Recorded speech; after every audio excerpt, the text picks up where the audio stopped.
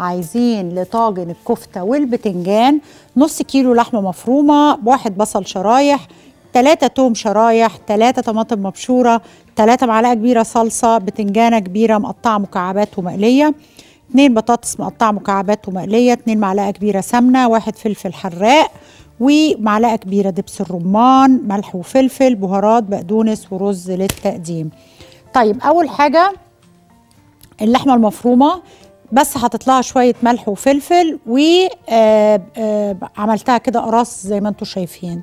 تمام؟ دلوقتي هنحط هنا شوية زيت أو شوية سمنة زي ما أنتم عايزين. وهنبتدي نعمل الصوص بتاعتنا. هنحط هنا السمنة.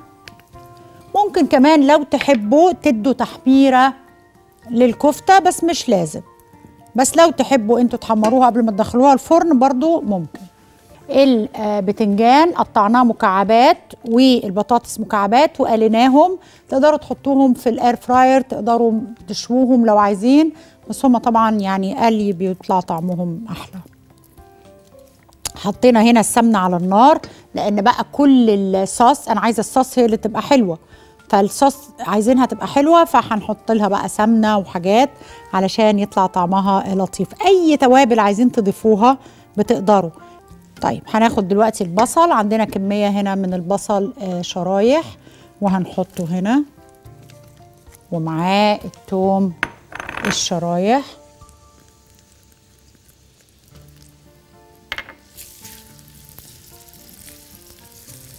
بس تقليبة خفيفة لأن كل ده دخل الفرن لسه.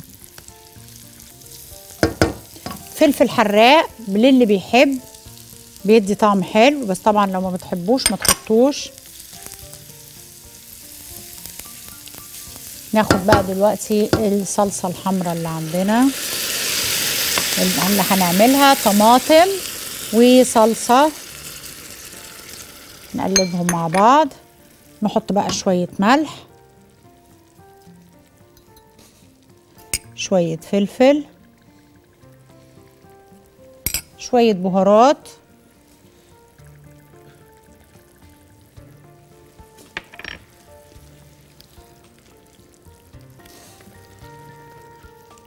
شوية مية هنحط.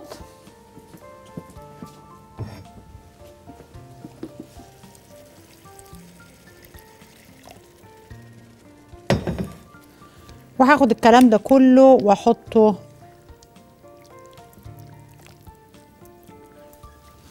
في الصينية بتاعة الفرن بتاعتنا.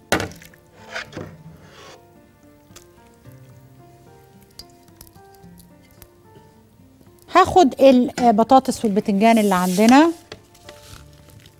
هحطهم كده هنا في النص. وأقلبهم شوية مع الصوص. هخليهم بس كده نوعا ما يعني بعيده عن الأطراف علشان خاطر عايزة أجيب الكفتة في الأطراف.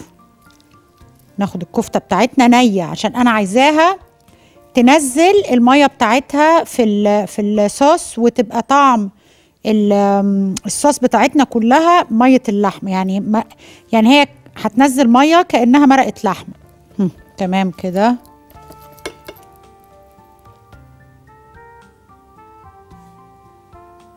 خلاص كده حلو قوي. هناخدها بقى دلوقتي ونحطها في الفرن على درجة حرارة 200 مثلا 220 لغاية ما بس عايزة أغطيها الأول شوية.